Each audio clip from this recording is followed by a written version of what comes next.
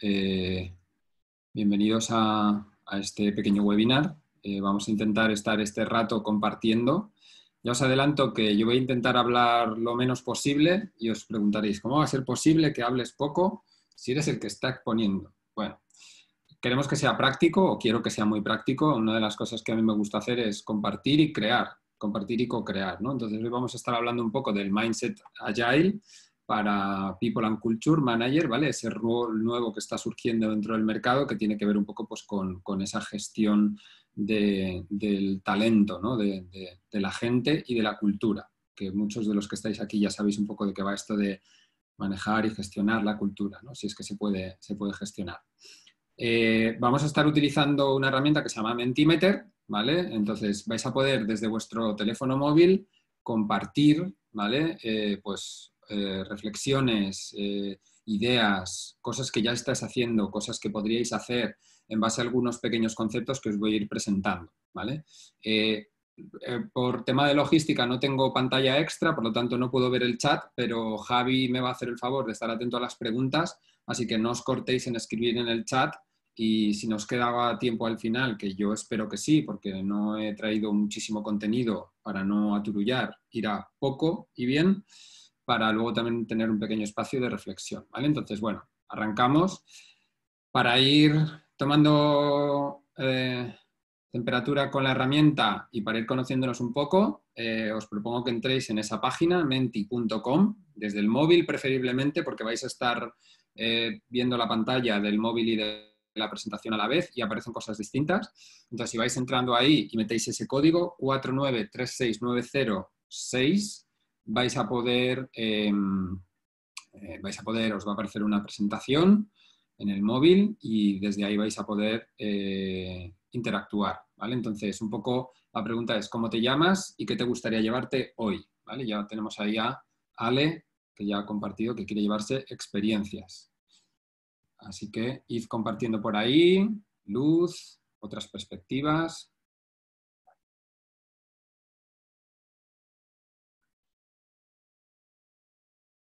Dice Diego, me gustaría conocer más esta nueva metodología en la gestión de recursos humanos, ¿vale? entendimiento del rol, cómo implementar allá en las organizaciones. listón ya está alto, ¿eh? Ya, si salimos con, esto, Jesús dice otras perspectivas y buenas prácticas, easy, inspiración e implementación, ideas, eh, conocimientos aplicables. Tenemos por ahí eh, entender cómo Agile se relaciona con el Culture Manager. Bueno, ya os veo ahí conectando. Vamos a esperar un poco más, ¿vale? Para que vayáis compartiendo. Filipa dice nuevos conocimientos. Mariet, conocer cómo hacer pequeños cambios en las personas para generar cambio. ¡Wow! Gran reto ese. Bárbara dice entender mejor la implementación de la Agile en las organizaciones.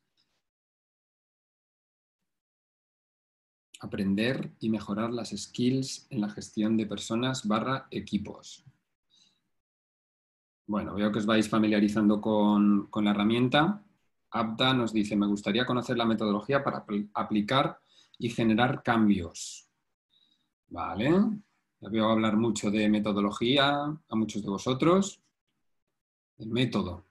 Método, queremos un método, David, para resolver todos los problemas. Blanca dice, escuchar otras visiones sobre este mix de ambas disciplinas. Vale, Pedro, llevar Agile fuera del ámbito del software. Eh, Nuria dice los beneficios de Agile en los equipos. Bueno, eh, podéis seguir compartiendo eh, por el chat, ya nos vamos conociendo un poquito y vamos a ir avanzando poco a poco, pero, pero sin mucha pausa y sin prisa, ¿vale? Esther dice, el último que leo, metodología y poder aplicarlo al día a día. Bueno, también que me conozcáis un poco, aunque ya eh, por la gente que he visto conectada hay algunos que ya me conocéis. Eh, de background eh, a lo largo de mi vida profesional he sido desarrollador, he sido profesor tanto en ámbitos privados de la formación como en administración pública en la universidad, profesor asociado de, la Universidad eh, Carlos III. Durante algunos años he estado trabajando como consultor y actualmente soy el, digamos, lo que sería traducido a una startup, el COO de, de Girocamp, de la escuela, que da cabida a este webinar. Y luego a nivel personal, pues bueno, eh, me apasiona la montaña hasta el punto de que durante el confinamiento y durante estos meses me ha sido muy complicado sufrir, subir y lo estoy sufriendo. Eh, me encanta hacer pan, no tengo panificadora, lo hago todo desde cero, con masa madre, con levadura, lo que, lo que se me ponga por delante, me encanta. Y soy un, un poco obsesionado en algunos casos con la productividad personal. Hasta el punto de que estoy, bueno, ahí explorando con herramientas de no-code para, mejorar un poco eh, mi productividad y por lo tanto la de, la de los equipos con los que trabajo, en este caso de Girocamp. Y bueno, no nos vamos a dar muchos más rodeos. Eh, contaros un poquito, muy poquito de historia sobre qué es Agile para que tengamos como un mismo lenguaje todos y sepamos de qué, de qué estamos hablando. Eh, allá por el año 1990, 17 eh, expertos en desarrollo de software se juntaron eh, para, bueno, un poco hacer autointrospección de su propio desarrollo profesional con sus clientes y, bueno, sacar como una especie de buenas prácticas de guía que guiara la toma de decisiones a la hora de desarrollar software, ¿vale? Si me preguntáis si Agile solo sirve para software, en realidad todo lo que ha nacido de Agile está muy relacionado con el software, pero como veréis hoy, hay muchas cosas que podemos traer, ¿vale? Traernos a otros ámbitos. Eh, podríamos discutir sobre si eso es Agile o no es Agile, pero bueno, como estamos aquí para coger, aprender, eh, como decía por redes sociales, de construir y reconstruir, eh, pues diremos que sí es Agile o no y cada uno que, decida. Sacaron como estos cuatro primeros valores ¿vale? que guían un poco eh, lo que es el, desarrollo de software para ellos. ¿no? Sobre todo ponían mucho hincapié el primer valor de personas e interacciones sobre procesos y herramientas. En el caso del desarrollo de software, muchas veces eh, había muchos métodos y metodologías que imponían una serie de pasos que al final eran incómodos para la relación entre las personas. Estos 17 fundadores o firmantes del manifiesto ágil se dieron cuenta de que, bueno, que si eh, se adaptaban fuertemente a los procesos y herramientas, sufrían las personas y sus interacciones. Eh, también dentro un poco de ese marco de, las, de, esas, de esos métodos y metodologías había una amplia documentación que había que entregar a la par que o incluso antes de desarrollar software. Eh, entonces ellos decían un poco que la clave para ellos era entregar software funcionando. Eh, en este caso, muchas veces lo que, lo que chirría para otros contextos y sobre todo en el que estamos hoy, que tiene que ver más con people and culture, eh, con personas, departamentos de recursos humanos, recruitment y demás, es que no, no se desarrolla software. En muchos casos lo que solemos hacer es cambiar este software funcionando por valor entregado. ¿vale? Entonces, aunque he querido ser en este caso purista y dejar el manifiesto ágil puro, pero que podemos pensar en ello como valor entregado. Y luego también que vayáis pensando qué significa valor para eh, vuestro propio área y vuestro propio departamento. También en las relaciones dentro de estas entregas de software había una parte contractual, como la hay en todas partes, pero que regía la relación entre el cliente y el proveedor. Y esto muchas veces eh, generaba relaciones tóxicas entre ambas partes, y que llevaba como a que esa propia toxicidad generara más toxicidad. Y por último, se diseñaban planes a muy largo plazo y eh, que no permitían esa adaptación ante eh, el cambio o posibles circunstancias que no, que no estuvieran contempladas en ese plan. Lo que dice el manifiesto ágil, de hecho podéis entrar en agilemanifiesto.org para leer el original, que, la verdad que si entráis creo que la página es de 1990, tal cual, no, ha actualizado mucho. Lo que dicen ellos es que si bien valoran lo que está a la derecha, prefieren poner el foco o el esfuerzo en las que están en la izquierda. ¿vale? En este caso, personas e interacciones sobre procesos y herramientas, software funcionando sobre em, documentación extensiva, colaboración con el cliente sobre negociación contractual, respuesta ante el cambio sobre seguir un plan.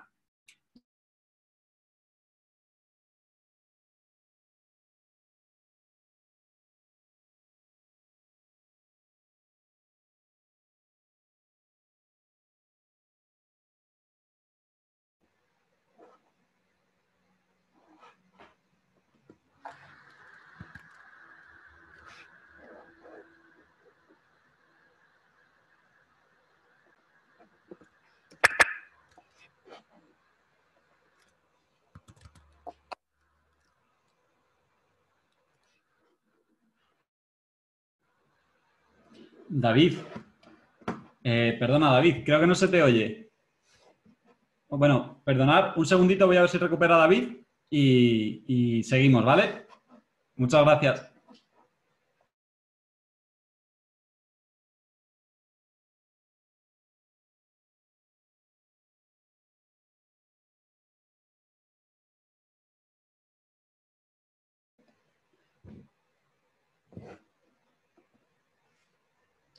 Ya sabéis, fallos del directo. Ahora mismo, ahora mismo. Entonces, eh, requerían en muchas ocasiones eh, hacer entrega de documentación que incluso muchas veces eh, iba por encima de la entrega de software. Aquí no, no, sé si lo habéis escuchado, pero lo repito porque esto sí que es clave. De cara a otros departamentos que no sea desarrollo de software, lo que solemos hacer es traducir software funcionando por valor entregado. ¿sí?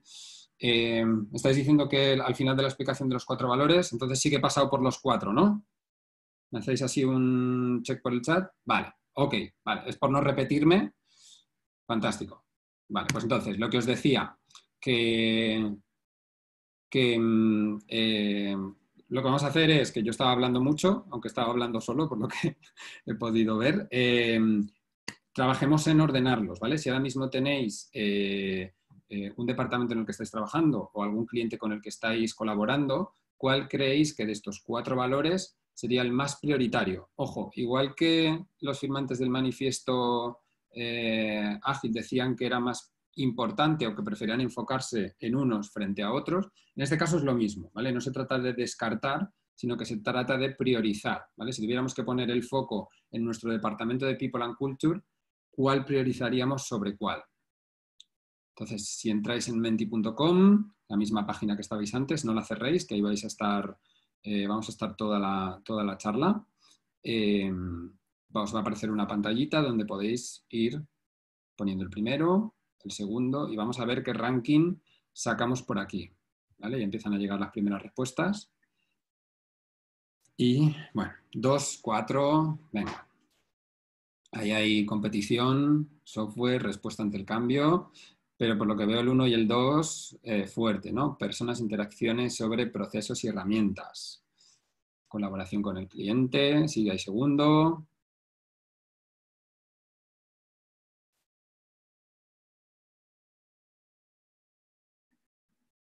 Bien. Tenemos ahí competición entre el segundo y tercer puesto, ¿eh? Recordad que software funcionando ¿eh? proponíamos un poco renunciarlo como valor entregado, ¿vale? Para que pudiera encajar un poquito mejor en, nuestra mentalidad. Bueno, creo que con diferencia, el primero lo tenemos decidido, personas e interacciones frente a o sobre procesos y herramientas. Vamos a esperar a ver si hubiera algún cambio radical hay que 12 personas dijeran que no, software funcionando, sobre todo lo demás.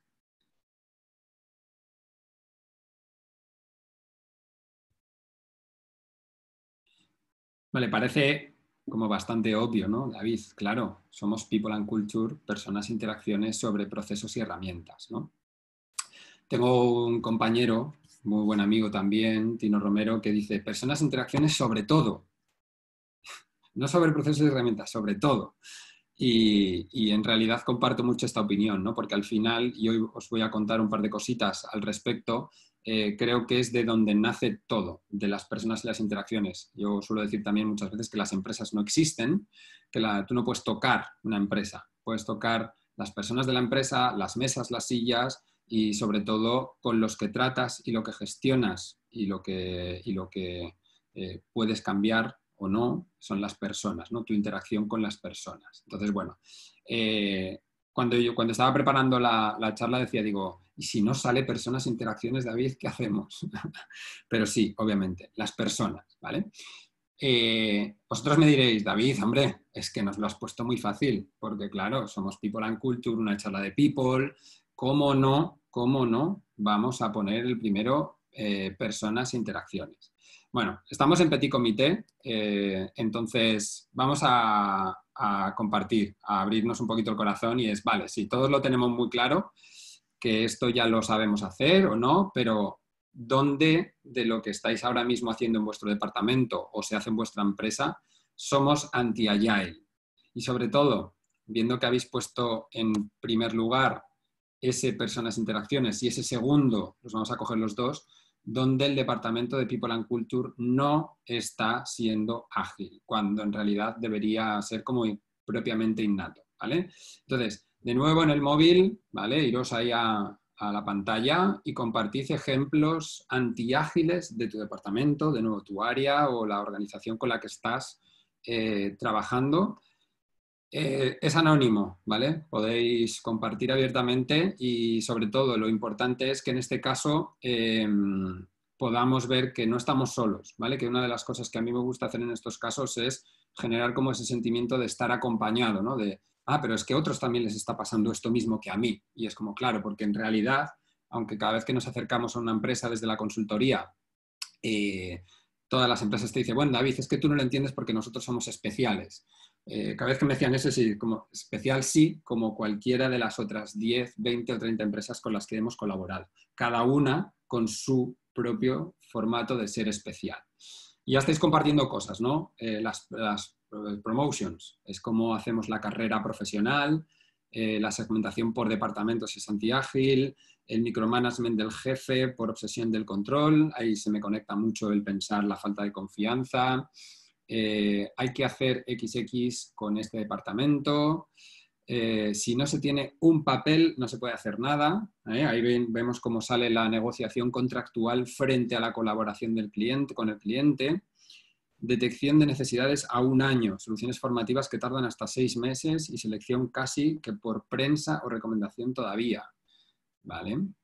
Utilizar Agile, esta me gusta, utilizar Agile como herramienta de micromanagement para program y project managers. Eh, yo siempre intento hacer ver a la gente que la solución y el problema nunca es la herramienta, ¿vale? Siempre es cómo utilizamos la herramienta. Un martillo es bueno si te dedicas a clavar clavos, pero no es bueno si te dedicas a machacar manos, ¿vale? Entonces el martillo per se no es bueno ni malo, sino es el uso que hago de esa, de esa herramienta, ¿vale? Eh, personas asignadas a más de cinco productos, ¿vale? Enfocar, excesiva burocracia, eh, falta de delegación, planes de formación anuales, obligar a ser agile. Este, este me encanta, ¿no? Venga, chicos, vamos a ser ágiles todos y lo vamos a hacer ya. Y además lo tenéis que hacer porque yo lo digo, sin preocuparme y sin preguntarme de qué hay por detrás de todo esto, ¿no?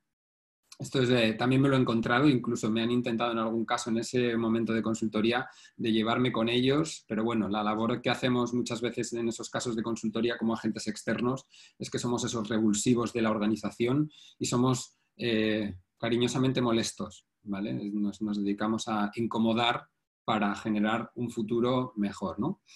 Eh, más cosas que compartís, plan de sucesión y desarrollo. Eh, lamentablemente algunas organizaciones no están listas para ser ágiles. Es curioso este, me permite comentar de nuevo lo que decía antes, ¿no? que las organizaciones no existen. ¿vale? Si intentas cambiar una organización, no vas a conseguir nada. Foco en las personas. Este es el mindset que debemos llevarnos hoy. Es, ¿vale? ¿Qué está detrás de todo esto? ¿Qué necesito? ¿Qué necesitan? Y qué les puedo ofrecer. Eh, luego, bueno, en este caso también ejemplos anti-agile, los, en, los modelos de adaptación de innovación le llaman laggards a esas personas que no se quieren involucrar, ¿no? Son los que dicen, no, yo eso no lo hago.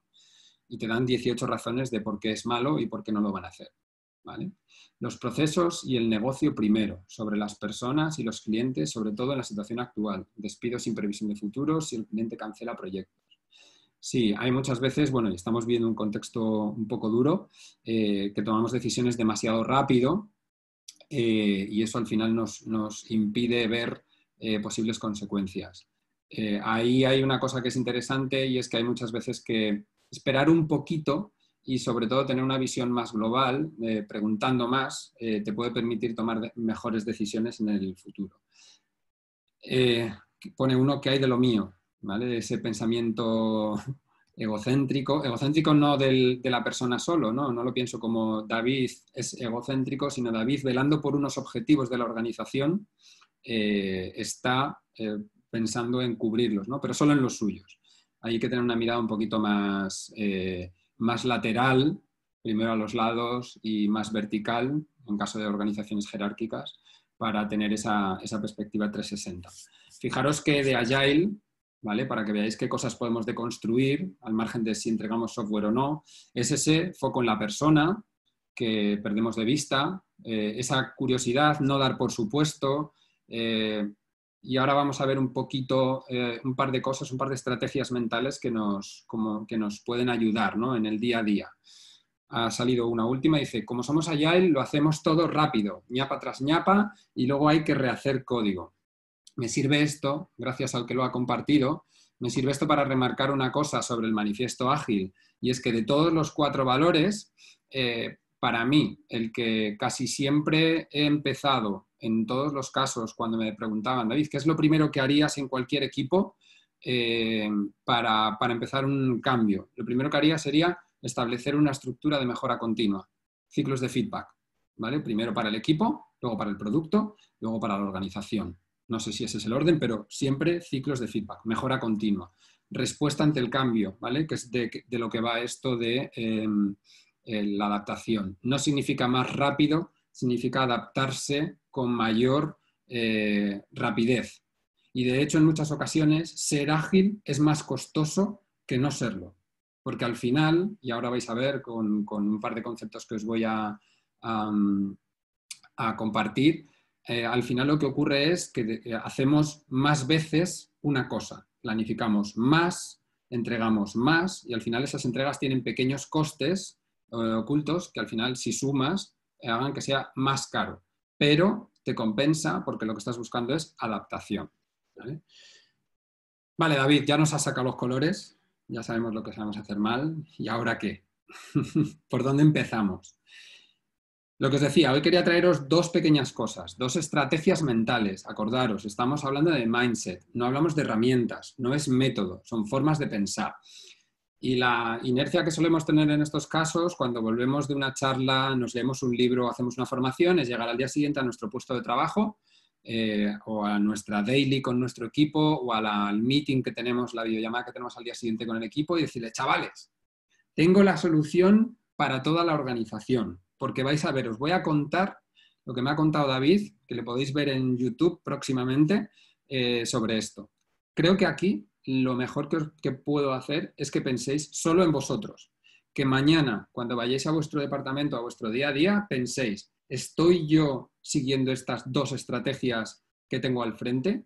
Cuando vosotros la tengáis integrada y veáis cuáles son las dolencias que habéis vivido, podréis empezar a influir en los demás. Y antes alguien proponía, al principio como expectativas, es cómo cambiar a los demás. Lo siento, ser portador de malas noticias, nadie cambia a nadie.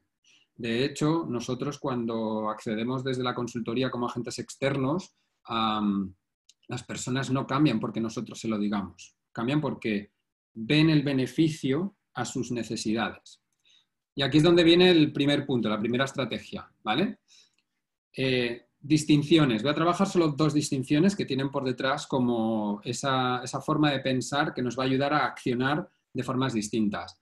Eh, perdonadme que los ponga en inglés, ¿vale? Eh, muchas veces mi chica me dice que es que hablo raro, pero no he encontrado o no me gustan las traducciones que hay de output en este caso, ¿vale? El output es ese valor entregado del que hablábamos antes, que en algunos casos puede ser software, antes decíais un plan de formación, o puede ser cualquier otra cosa con la que trabajáis, que entregáis o que hacéis una, un, un delivery, un desarrollo una entrega. Y el outcome es el impacto que genera en las personas que lo reciben. ¿Sí? Esto es claro. Lo he representado como el regalito, como eso que tú construyes, y el outcome es el impacto que tiene en la persona o las personas o departamento, organización, clientes que lo reciben. ¿Sí? Hasta aquí claro. Podéis ir mm, compartiendo si tenéis alguna cosa, pero esto es muy importante. ¿Por qué? Les pongo un ejemplo. El mismo eh, output puede generar distintos outcomes en distintas personas. Al principio os decía, una de mis aficiones, si se puede llamar afición, hacer pan, em, es esto, es hacer pan. Y muchas veces se me ocurre, oye, ¿qué tal si a fulanito le hago una hogaza de pan de masa madre fermentada en 48 horas con semillas de chía, no sé qué, no sé cuántos? Y se lo entrego a esa persona y me, puede ocurrir dos cosas, ¿vale? que le flipe, porque es un pan maravilloso, porque además ha tenido su fermentación de 48 horas, huele a cerveza, es ácido, o que sea celíaco. En cuyo caso, el regalo es, eh, perdonadme, es una mierda. ¿Por qué? Porque lo que he hecho ha sido empujar el output sin preocuparme de cuál es el outcome que quiero recibir en esa persona o grupo de personas. Y esto nos ocurre mucho, ¿vale? Pensamos en software, sacamos versiones nuevas de software y las empujamos. ¿Qué nos viene de vuelta? Que la gente no lo usa. Sacamos planes de formación sin preguntar y lo que nos vuelve es esto no me gusta, son quejas y demás. El recorrido debe ser al revés, ¿vale? Del outcome al output. Vosotros me diréis, vale, David, pero entonces, ¿cómo saco yo el impacto que quiero generar? ¿Vale? Porque en realidad el outcome solo es el resultado, pero yo tengo que prever antes de saber qué quiero construir o qué quiero entregar, cuál es el outcome que yo quiero recibir de, las personas que van a, recibir esto que voy a entregar. Eh, lo pongo como en cuatro pasos. ¿vale? Lo primero, valor número uno del manifiesto ágil, personas e interacciones. Oye, pregunta, pregúntales y si no tienes acceso, por la razón que sea, eh, no están accesibles porque eh, están en otro país o son personas muy ocupadas, no lo sé. Pregúntate, pregúntate qué necesitan ellos y qué necesitan más allá el output. No necesitan un plan de formación, a lo mejor necesitan otra cosa.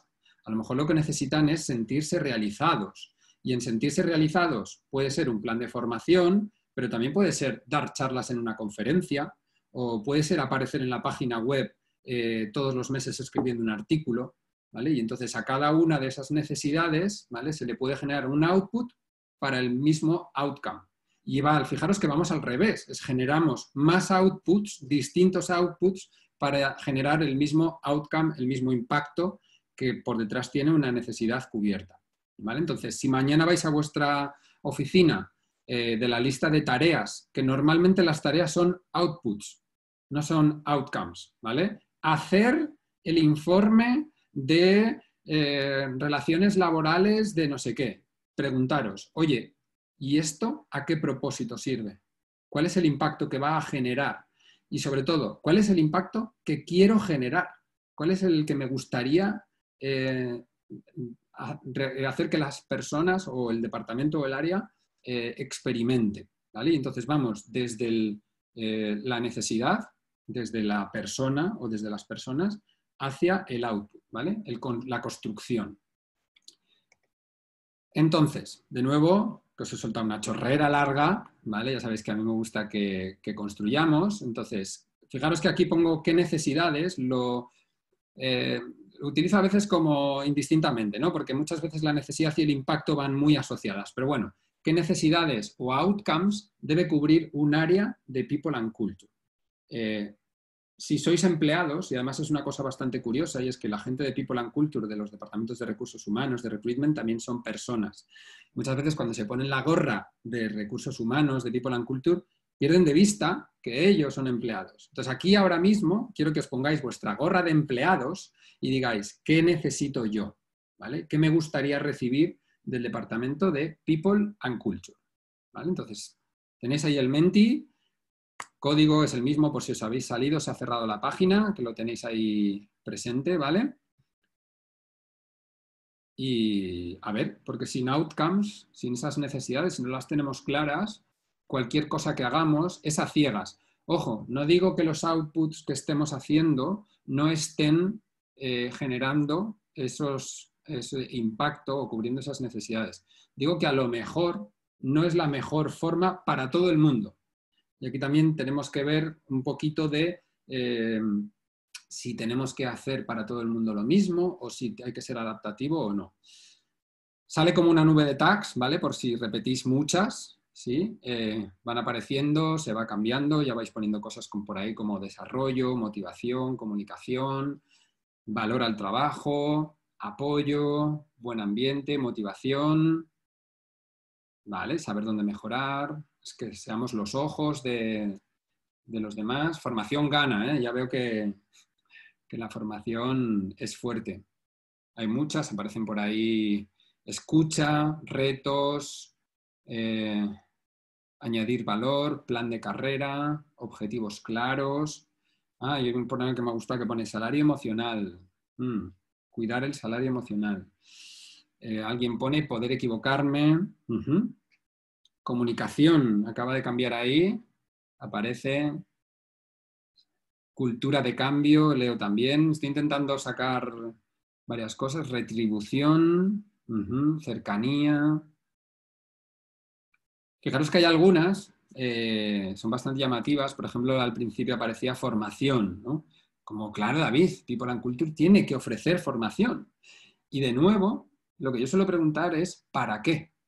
¿Para qué formación? De nuevo, es ir un paso más allá, porque al final la formación es un output. El plan de formación, hacer cursos, es un output. Pero ¿qué impacto está teniendo eso en la persona y también muchas veces en el desarrollo del, negocio que estamos haciendo? Eh, podemos tener discusiones sobre si People and Culture debería ser un departamento que nazca desde la parte de negocio o no. De hecho, antes planteabais en las expectativas eh, y en los problemas, creo que era que decíais que muchas veces negocio imponía a People and Culture, ¿no? Y ahí yo creo que hay una disonancia entre negocio y people en los departamentos de People and Culture, de recursos humanos y demás, y es porque hay veces que no hablan el mismo idioma, ¿no? Y creo que hay un movimiento que tiene que haber entre ambas partes para entenderse mejor. Y lo que digo, no, no podemos discutir y, cada uno tendremos nuestra opinión sobre si People and Culture tiene que ser negocio o no, pero sí que, que tiene que haber un acercamiento, ¿vale? Vale, fijaros, bueno, hay alguien que dice somos millennials. Eh, no sé qué significa, pero sí, mm, también el escuchar nuevos, eh, nuevos comportamientos, nuevas formas de ser, ¿vale? De, mm, necesitar cosas diferentes, ¿no? Em, valoración, actualización y demás.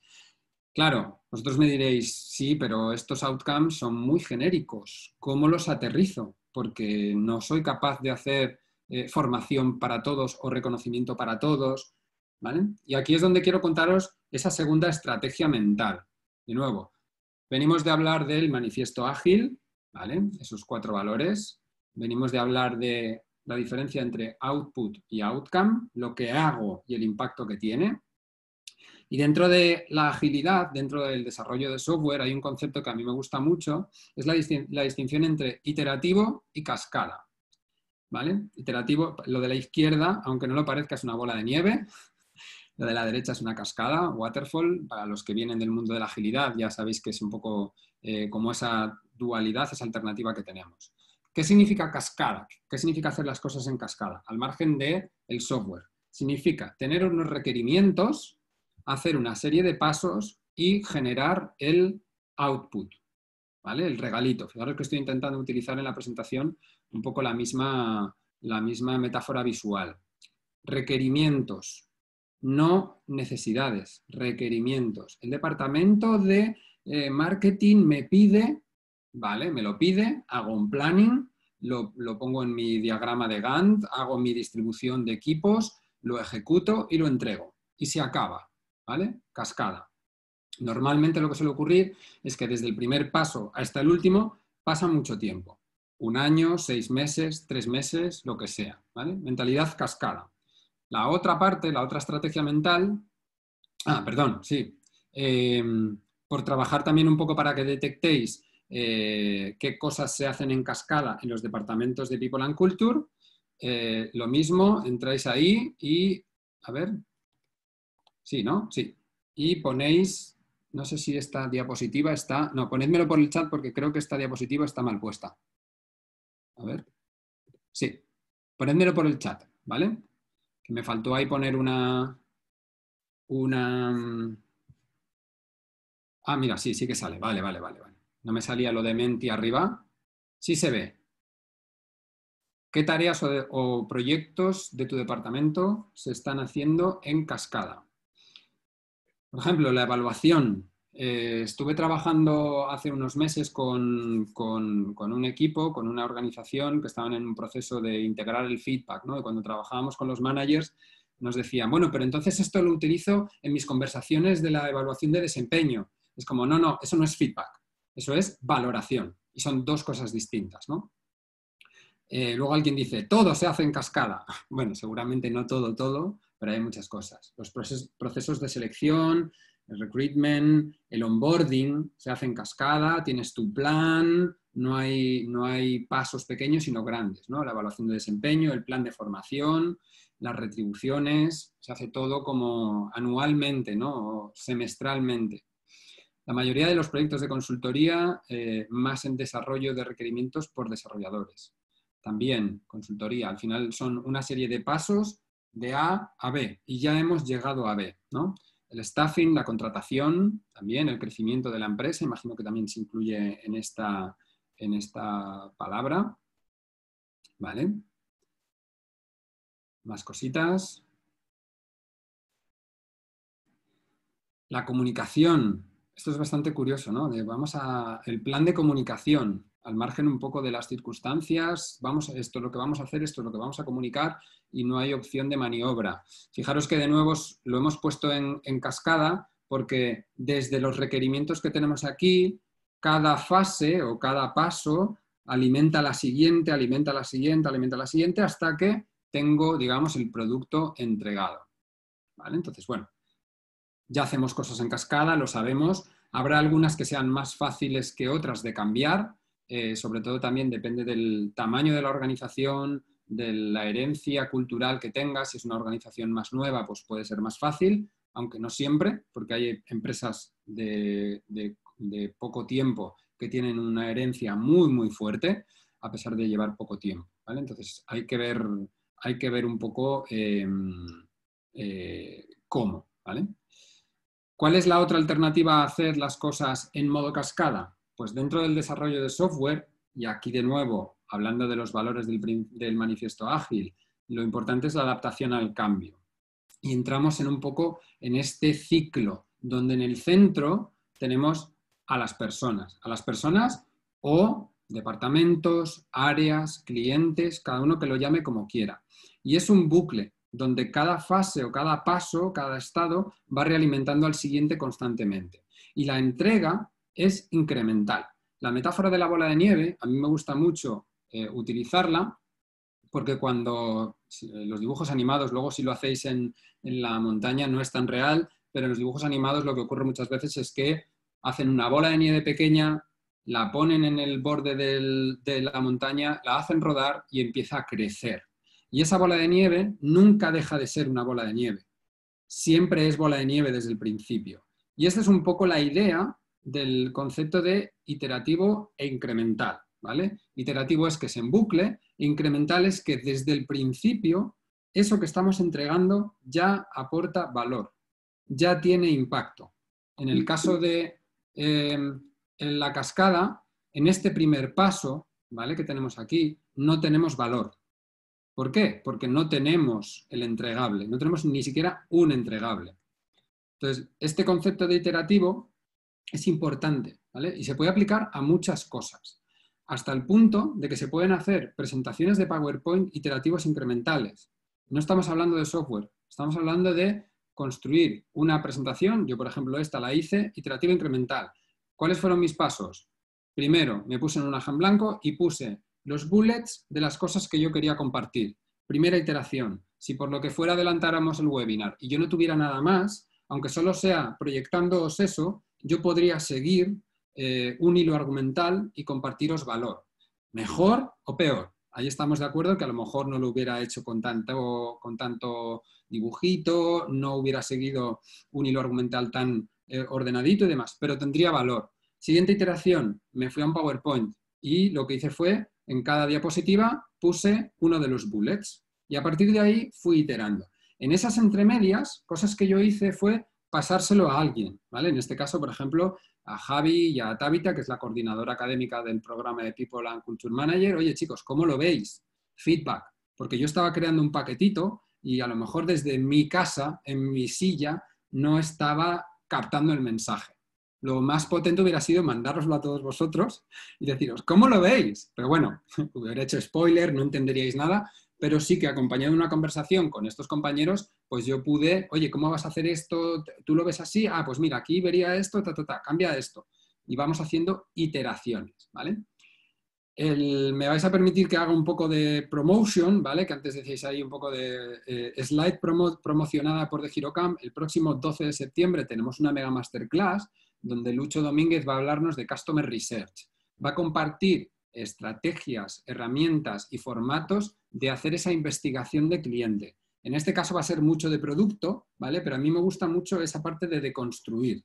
Es decir, coger de, de algún ámbito algo ver cómo lo puedo romper en trozos y cómo lo puedo reconstruir en otro sitio, ¿vale? Lo digo por si os, os puede servir el aprender estrategias de research para vuestros departamentos de recursos humanos. Entonces, iterativo. Vale, David, ya sabemos las cosas que hacemos en cascada, pero oye, necesitamos ideas. Entonces, aquí estamos todos para ayudarnos. Oye, ¿qué cosas se os ocurren que podríamos hacer mañana, mañana mismo, en modo iterativo? y siempre hablando dentro del contexto de people and culture y demás, ¿vale? Alguien muy optimista dice, todo, todo es iterativo, todo se puede hacer, sí o sí, iterativo incremental. A lo mejor, no, ojo, ¿eh? también es importante, eh, no todo tiene que ser iterativo, no todo tiene que ser como, decimos. Fijaros que en estos casos lo que ocurre, lo que os decía antes, vamos a nuestro equipo al día siguiente y como me han dado un martillo, todo lo que veo son clavos. No. Vamos de nuevo a ese pensamiento de preguntarme qué impacto, qué necesidad quiero, quiero conseguir. Y a lo mejor para eh, algunas cosas, el plan de formación, David, yo no lo veo. Vale, genial. Navega en la necesidad. ¿Qué sí puedes hacer iterativo incremental? ¿Qué sí puedes, de esa parte grande, de ese todo, qué parte sí puedes hacer? Y hay algunas respuestas, iterar los salarios, ¿vale? En vez de que sean anualmente, a lo mejor sean en, otro, en, otro, en otra cadencia, ¿no? La comunicación, los KPIs. De hecho, eh, una de las cosas que, de hecho estuvo, em, em, no recuerdo el nombre ahora, eh, me, sale Raúl Egea, pero no, creo que no es Raúl, dando una charla sobre People Analytics, ¿vale? Métricas para, para medir dentro de los departamentos de People, ¿vale? Luego eh, en, el, chat lo busco y os lo, pongo. Eh, alguien comparte, dar feedback, ¿vale? Feedback. No esperemos a final de año, no esperemos a la evaluación de desempeño. Si alguien de tu equipo no está llegando a lo que se espera de él, decídselo, ¿vale? Eso para mí sí que es muy, muy importante creo que no hay nada más triste y, no lo he vivido nunca, afortunadamente, que te reúna el Departamento de Recursos Humanos y te diga, David, no estamos contentos con tu trabajo, estás despedido. Pero si nadie me ha dicho nada, si esto es nuevo para mí, si mi jefe está contentísimo, ¿no? Si tu, jefe lleva meses, meses quejándose de ti, es como ya, pero a mí no me ha dicho nada, ¿no? Dar feedback, súper importante. Selección de personal, ¿vale? Realizar un plan de desarrollo de personal, el reconocimiento, ¿vale? Hablamos un poco de, lo mismo. Iterativo.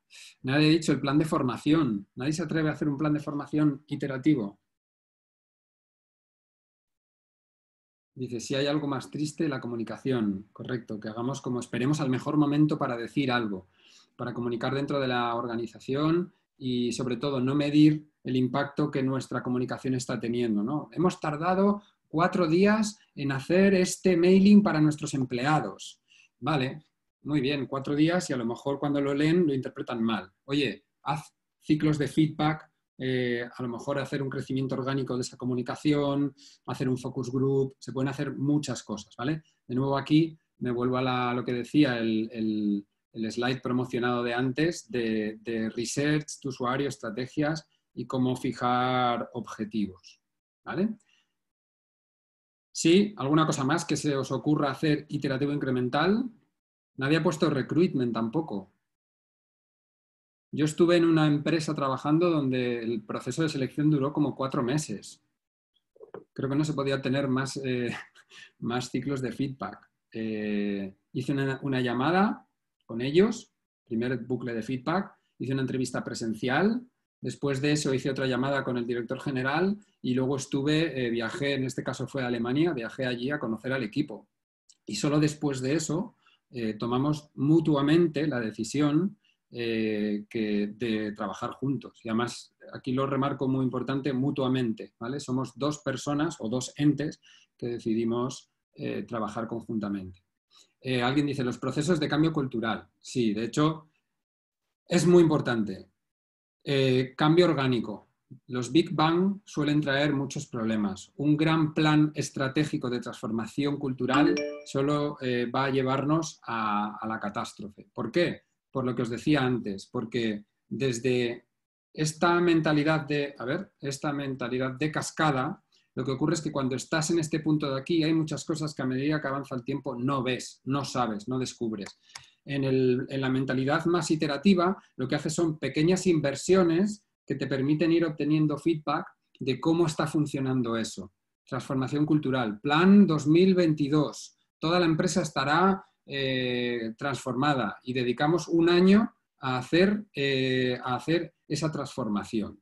¿Y qué pasa? Que cuando la implantas suele ser, según mi experiencia, a costa del esfuerzo de las personas. Pocas veces de la organización, porque en realidad la organización no existe. ¿vale? La última, cambio de algunas estrategias en la formación de personas.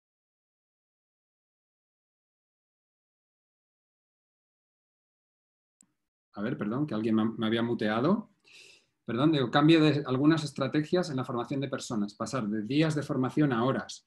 David, hazme un plan de formación para 200 empleados y que dure 80 horas. Es que es una inversión muy grande para ti. Imagínate que después del primer módulo no les gusta y ya hemos hecho un presupuesto para todo esto y tenemos que consumirlo. Pues es muy costoso. Yo estoy haciendo algo que no te gusta y tú estás gastando el dinero en algo que no te aporta ningún valor. ¿Vale? Vale, si, David, tú que nos lo cuentas, súper fácil, súper sencillo, ¿por qué cuesta tanto? A iros al, Menti y veamos eh, dificultades que habéis encontrado ya para llevar una mentalidad a otra mentalidad en mi departamento, mi organización, mi equipo o incluso en mí mismo. ¿Vale? ¿Qué dificultades encontramos a la hora de empezar? a la hora de afrontar un cambio de transformación de mentalidad en, las organizaciones, en los departamentos. Ya vais poniendo algunas. Resistencia al cambio, necesidad de formación, el middle management, qué bueno.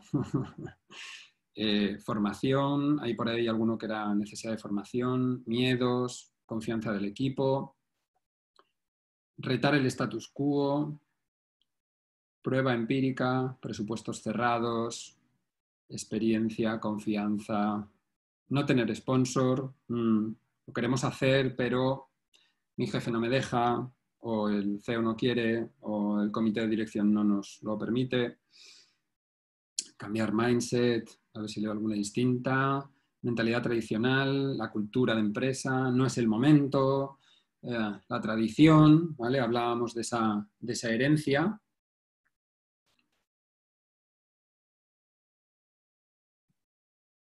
Vale. Vale, creo que soporte de administración, las inercias, los miedos, aceptación, mentalidad fija. Bueno, ya sabemos un poco dónde está. Fijaros que muchas de esas, eh, muchas, me atrevería a decir que casi todas ellas, de nuevo, tienen que ver con personas. ¿Vale? ¿Por qué? Por ejemplo, la formación, la resistencia. Somos las personas las que nos resistimos, somos las personas las que necesitamos conocer, somos las personas las que tenemos una mentalidad tradicional, las personas las que tenemos miedo. Cuando planteéis un cambio, cuando os planteéis un cambio para vuestro departamento, vuestro área, lo que sea, vuestro equipo, para vosotros mismos, de nuevo, estrategia importante, output versus outcome. Reflexionad, ¿qué necesidad estoy intentando cubrir con esto que estoy intentando hacer? No perdáis de vista que un plan de transformación digital es un output, ¿vale? Es un output, no es un outcome. ¿Qué queremos conseguir? Si no vamos a esas necesidades más primitivas que tienen las personas de la organización, y cuando hablo de las personas no hablo solo de emocionalidad, sino que también hablo de esa gorra que, tienen, que tenemos puestas las personas dentro de una organización que nos mueven muchas veces a, a forzar los objetivos que nos han impuesto, ¿vale? Que hemos aceptado, pero que nos han impuesto. Entonces, eh, cuando veáis resistencia, que además es la que ha creado en el centro, preguntaros a qué se está resistiendo la organización, porque toda resistencia protege algo. Si hay protección de algo es porque es algo que es importante para la organización. Oye, no quiero perder mi posición en el mercado, no quiero perder el producto que tenía hasta ahora, no quiero perder algo, tengo miedo, estoy protegiendo. Preocuparos por eso. Outcome, necesidad. ¿Vale? es para mañana, pone alguien. Hoy no, mañana ya sí eso, ¿no? El aplazamiento, pero bueno, ¿por qué aplazamos? A lo mejor hay pereza, a lo mejor hay apatía, hay desconocimiento a qué va a pasar. Algunas veces cuando me planteaba delante a algunos clientes como consultor, me decían, bueno, David, pero tú cuéntame cómo va a ser. Y yo les decía, no tengo ni idea. Yo ya iba de entrada y decía, no tengo ni idea de cómo va a ser. Ahora bien, yo voy a estar al pie de cañón contigo para acompañarte en que encontremos la mejor solución juntos. Muchos rechazaban ese pensamiento, decían, pero ¿qué me estás diciendo? No puedes venir aquí, eres un consultor, vienes a resolverme la vida. Es como, no, no, no. Venimos conjuntamente a resolverlo, porque yo probablemente pierda de vista algunas de tus necesidades desde mis outputs, y eso es lo que no quiero, ¿vale?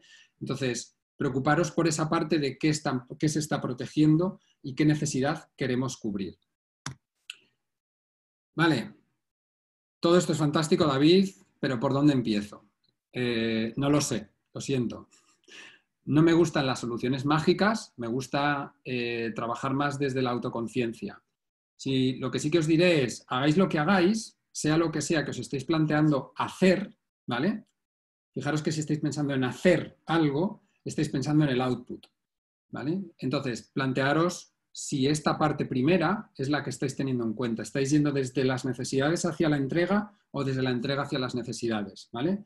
Sería el primer punto a tener presente. Y luego, en el momento en el que ya tengáis claro qué queréis resolver, no penséis en ese magnífico plan gigante, enorme, a realizar, sino que pensad en qué es lo primero pequeñito que puedo hacer para poder obtener feedback, para poder aprender. Eh, habréis oído y está ya muy manido, y lo voy a utilizar, me vais a perdonar por ello, pero el contexto buca, ¿vale? Buca, todo el mundo habla de buca, buca. ¿Por qué es importante? Porque hay incertidumbre. El, el, mercado, las personas, somos tan complejos que necesitamos testear, ¿vale? Testear, validar, porque las hipótesis que podemos tener en nuestra cabeza, por muy inteligentes que seamos, que lo somos todos, pueden estar perdiendo de vista muchas otras cosas. ¿Por dónde empiezo? Pregúntate qué quiero resolver, qué necesidad hay detrás y segundo, qué es lo más pequeño que puedo hacer para validar que voy por el buen camino. Entonces, os voy a dar ahora un minuto, ¿vale? Para a ver si nos da un poquito de tiempo para alguna pregunta o dos, para que os planteéis tres pasos, ¿vale? Acción en tres pasos. Lo primero es, ¿qué voy a hacer mañana? ¿Vale? ¿Qué acción es la que me gustaría desarrollar mañana? ¿Qué voy a hacer de aquí a una semana? ¿Sí? ¿Qué acción o qué resultado me gustaría tener de aquí a una semana? ¿Y eh, qué voy a hacer de aquí a un mes? ¿O qué plan o impacto me gustaría generar de aquí a un mes? Cuando lo vayáis teniendo, vais a ver en el móvil que tenéis un corazoncito, le dais al corazoncito para que sepa que más o menos estáis listos y avanzar hacia el final, ¿vale? Ya estamos acabando, de hecho, 19, 28, casi, casi puntuales para, para terminar. Y voy al chat mientras, que veo ahí que hay gente. Ramón Egea. Ramón Egea. Eh, talent Acquisition and Development en Job Talent. ¿vale? Eh, hizo una charla sobre eh, People Analytics. Muy buena. Y luego también ha puesto Javi por ahí el enlace a la Mega Masterclass el 12 de septiembre. Veo que lo del plan de formación iterativo ha despertado curiosidad. ¿Cómo sería un plan de formación iterativo? Y contesta Cristina, un plan de formación iterativo se me ocurre que es, ante todo, flexible, capaz de recoger feedback y adaptarse a las necesidades de cada uno o de cada equipo, testar, fallar y mejorar constantemente en vez de darlo como completo una vez diseñado. Dicho así, suena, suena chulo, suena. Luego hay que aterrizarlo, ¿eh? Y se puede, se puede hacer, se puede hacer. Es costoso, eh, hay, que tener una, hay que hacer un esfuerzo para, permitir esas iteraciones, esos cambios, la organización tiene que estar dispuesta a ese fallo del que hablaba, Cristina.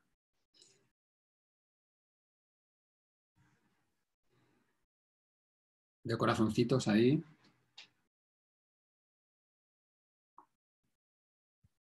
Solo suma un número, solo aumenta una vez el número por, cada persona, pero podéis darme todo el amor que queráis. ¿eh? Siempre es bien recibido el amor. Ahí a casco porro. ¿Alguien, se alguien se ha dejado el botón pulsado.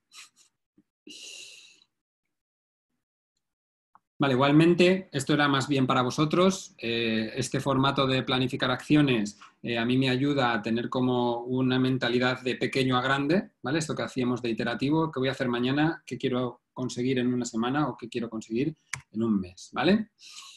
Luego, bueno, eh, quiero dejar el espacio para si hay alguna pregunta, ¿vale? Y no sé si alguien quiere preguntar algo. Tenéis en el, en el móvil, tenéis la la opción ahora mismo. Son las 19.30, ¿vale? Quizás solo sea una o dos preguntas, ¿vale? Para ser puntuales.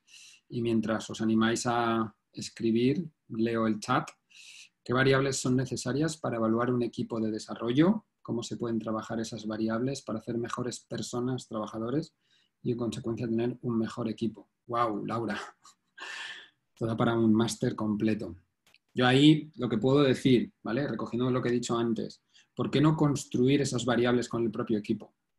Que sea el equipo el que también se involucre. No digo que decida, porque a lo mejor ellos mismos caen en sus propios sesgos, pero sí involucrarles. Oye, ¿qué os parece esto? ¿Estamos pensando esto? O lo que os decía, estrategias de research, ¿no? Jesús comenta en el chat, un ejemplo de plan de formación iterativo que hago con equipos y organizaciones es partiendo de una matriz de capacidades y de necesidades. Eh, y de necesidades de conocimiento para comenzar un backlog de formación iterativo incremental. Bueno, claro, Jesús, que es un profesional como la copa de un pino, con experiencia amplia, eh, claro, ¿por qué vamos a ir a grandes planes de formación? Utilicemos esa mentalidad creciente y priorizar. Oye, ¿qué es lo primero que nos están demandando? ¿O qué es lo primero que nos está demandando el mercado? Que también ahí es donde em, el Departamento de People and Culture puede empezar a pensar en negocio o qué es lo que requiere el negocio que nuestros equipos sepan y mezclarlo con esas necesidades de, los equipos y del negocio. Bueno, veo que no hay preguntas y nada más. Si os ha gustado, pues compartidlo cuando publiquemos el, el, el vídeo, lo subiremos. La presentación, si la queréis, la colgaremos también en, eh, la enviaremos por correo si os habéis dado de alta y demás. Y a mí me tenéis en correo electrónico o en LinkedIn para cualquier consulta. Y nada más, por mi parte, un placer haber estado con vosotros, haber compartido, haberos escuchado, que para mí es mucho más importante que escucharme a mí, que yo me tengo muy escuchado. Y si tenéis dudas, de verdad, luego no lo hacéis nunca, ¿eh? pero si tenéis dudas, preguntas, cosas que queráis consultar, me tenéis a golpe de mail o de, o de LinkedIn, ¿vale? Mejor mail, ¿eh? Ya os lo adelanto, que LinkedIn todavía no lo tengo bien integrado en mi sistema de productividad personal. Os dejo, chicos. Un placer y a disfrutar.